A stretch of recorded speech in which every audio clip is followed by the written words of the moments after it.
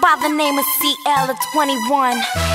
It's been a long time coming, but we're here now. And we about to set the roof on fire, baby. Uh oh. You better get yours,